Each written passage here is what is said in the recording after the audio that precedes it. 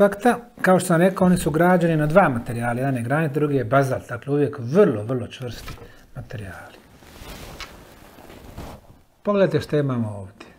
Prvi pogled prikazuje neko biće koje nije baš tako simpatično, tako, sa ovim očima, sa zubima.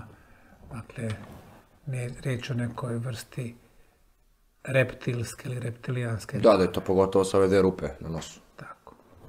Da pogledamo dalje. Da vidimo šta je ovo ovdje odstrano.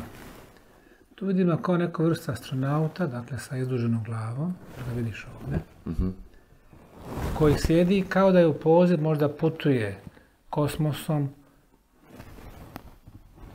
Ovdje u usta ima, ustima ima kao tu neku najvjerojatnije komunikacijsku spravu. Imamo ove kose, izdužene oči. I nešto drži u ovoj ruci. Da. Neki Očigledno, predmet da. kojeg je teško s našeg aspekta objasniti.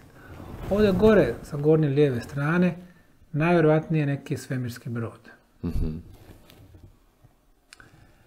E sada, da vidimo dalje. Sa ove druge strane, imamo također jedan lik, Da. izdužena glava, kose oči, također to u nekom sljedećem položaju, da li možda i on putuje kosmosom, teško reći. Da, isto ima to. Da.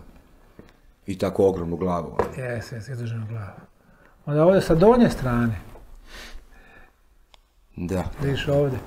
Dakle, i ovdje imamo taj lik u sljedećem položaju sa izduženim kosim očima. Vidite kako su oni vrlo lijepo iskoristili kompletan ovaj prostor. Nekada prikazuju recimo te svemirske brodove i ponovo u tri dimenzije sa čitavim nizom tih likova, ali sa nekom vrstom hieroglifskog pisma. Izgleda jednostavnije od recimo od egipatskih hieroglifa, pogotovo od hieroglifa Maja, ali nismo ga uspjeli do sada dešifrirati. Vidite kako je lijepo obrađen.